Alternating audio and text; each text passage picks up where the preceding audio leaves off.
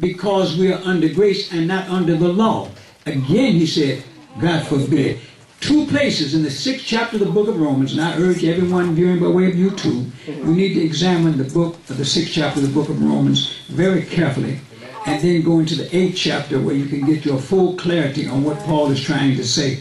Don't even try to handle chapter 7 because you're not qualified. And I don't have the time to go into chapter 7 tonight. But I'm trying to show you, church, we're under an attack. And the true light, the true church, light again means knowledge. Right. Knowledge of the truth, divine truth that comes from heaven. We have to understand we've got to follow that truth. Yeah. And Jesus protected this book and that truth.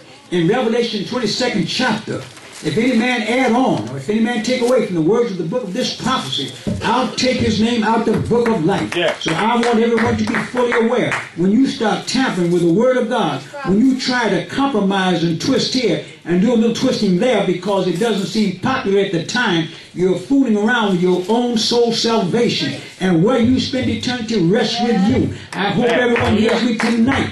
We're not going to compromise the Word of God. The Word of God didn't come for us to change it. The Word of God came to change us. So I thank God that I'm changed now. Hallelujah. Hallelujah. I'm obedient to the Word of God. I've got the humility in me to take the Word of God and follow Him wholly.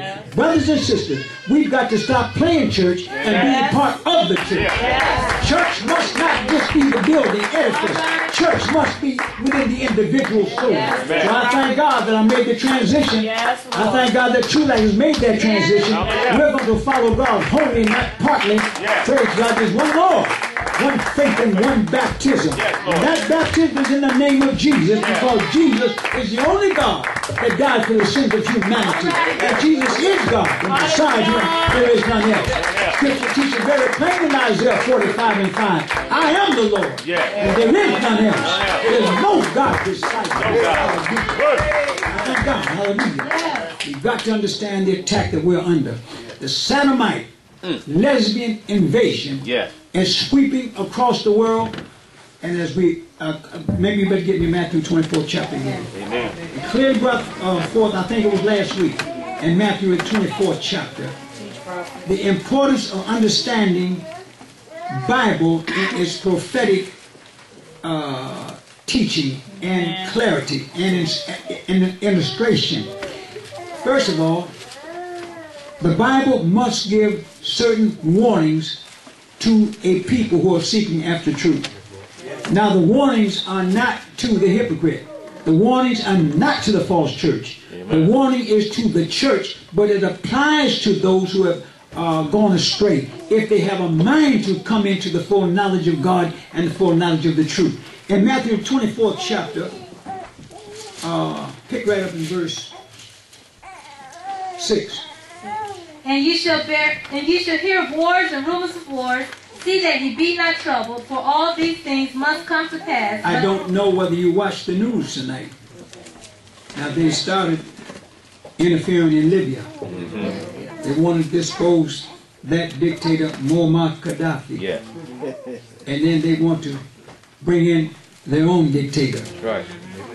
So now, since they put the no-fly zone, which meant that the American Air Force has a right to shoot down any of the Libyan Air Force. Of course, you know they ain't had about two or three planes, anyhow. So when they cleared the skies, now they are attacking the Libyan troops themselves. So they are making a, they want to make a difference between which of the rebel sides are going to win. Now one side is for Allah and the other side is for Muhammad. So how you going to separate the difference between the two when all of them uh, profess Islam? I'm trying to show you. You can't interfere with those heathen nations because all you're going to do is walk yourself into a web that you can't get yourself out of. Now why is this taking place? Because America has become Babylon the Great. America is following the Antichrist and when you put Islam and Muslims and the Antichrist in together, you got what you have right today. A whole lot of wars and rumors of wars and a whole lot of confusion. If you take notice again, And you,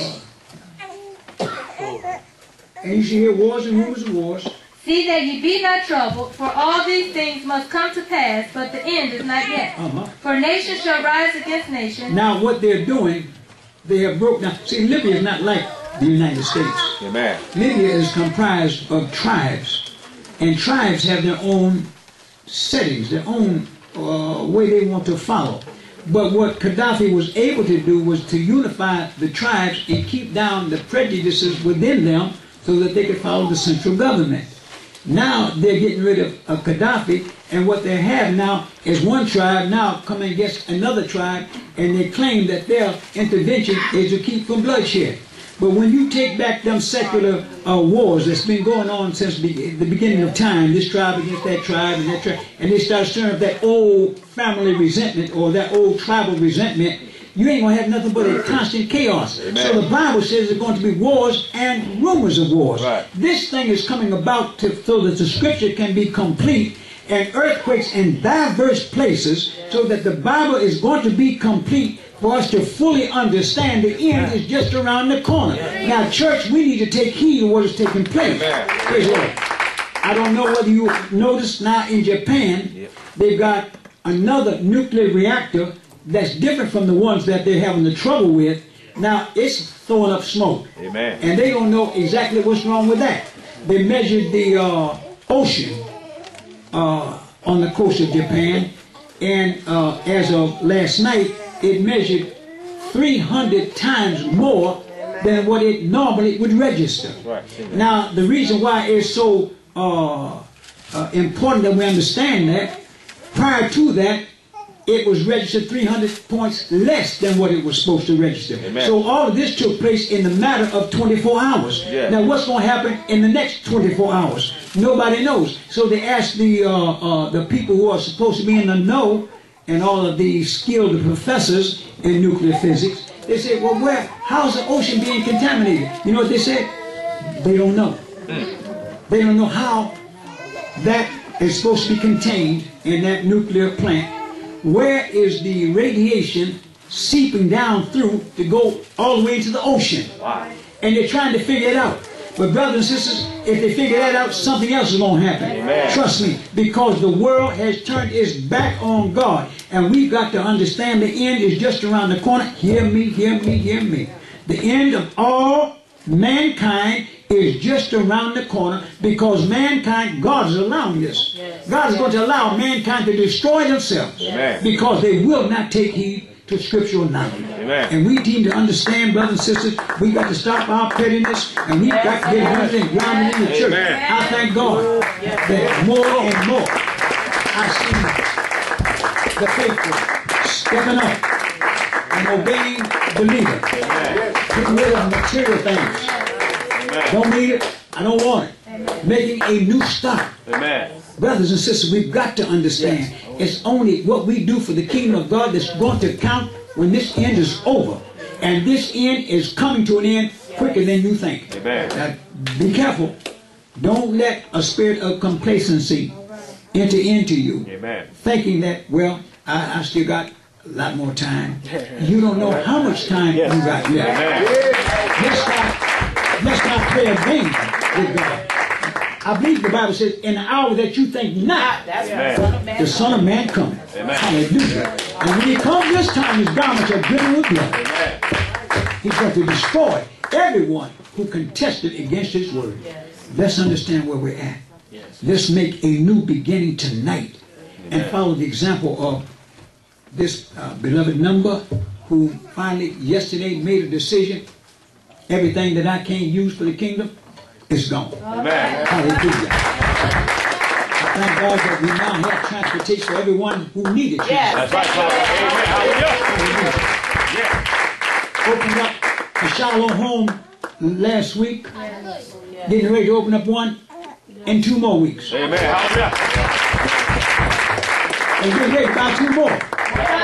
Yeah, Lord. What do you think about that? Now, we are not necessarily uh, planning for the future in this context. Amen. What we are trying to do is bring everybody to a place of protection so that we can worship and praise God without being affected by this wicked and hateful world. Amen. Praise God. Until the trump of God side. Amen. And together we'll be caught up in the air, there to be with the Lord forever. Amen. So I look forward to it, brothers and sisters. So